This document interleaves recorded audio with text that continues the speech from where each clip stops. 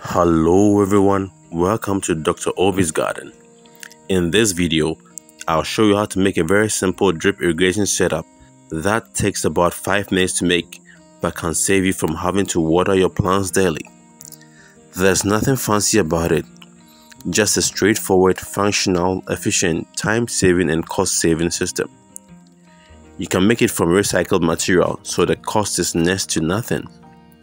I'll share tips to guarantee success throughout the video, so keep your eyes glued to the screen as I break this down. I'll be using a container that can hold about a gallon of water. An empty milk bottle works great. A white bottle is preferable to the transparent type since it minimizes heating of the water by the sun rays, especially on hot days.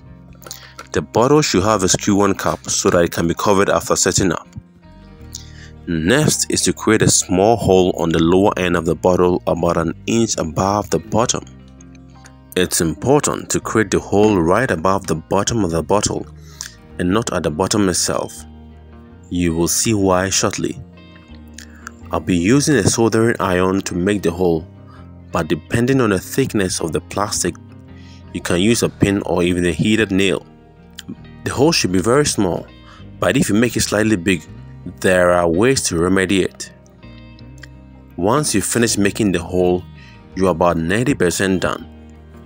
You just need to test it and make sure it's working. You may need to make a few adjustments when necessary. The hole I made is probably too big, but let's test it to see if that is true. We have to fill it with some water.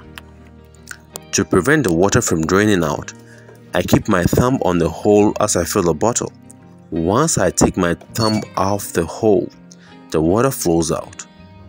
You can actually regulate the rate of flow of the water by screwing on the cap as shown.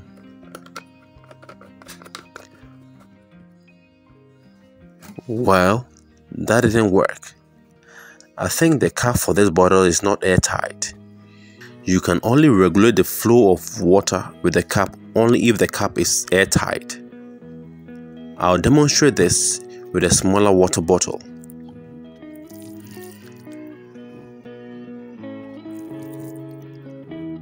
Now, back to our bigger bottle. One way to make the water flow slowly or to drip is to reduce the size of the hole that we just made. This can be done using a soldering iron if the bottle has thick walls. You just have to pull some of the surrounding plastic to close up the hole using the hot soldering iron, as can be seen. Let's test the setup again to see if it's working now. We fill the bottle with water and check the flow of water through the hole. It looks like it's working now. The water is dripping slowly from the sides of the bottle to the bottom. Now the drip setup is almost done. You just have to fill it up with more water. Once the water is full, we just have to place it right on the soil close to our plant or plants. That's it. We are done. Before we leave it overnight, we can test it again to be sure it's still dripping. As you can see, it seems to be working as expected. There's no need to dig around the plant before placing the bottle close beside it. This ensures that there's no disturbance of the roots. However, if the plant has been mulched, you can pull back the mulch a little bit before placing the drip set down close to the plant. Let's check back the following morning to see if it's still working.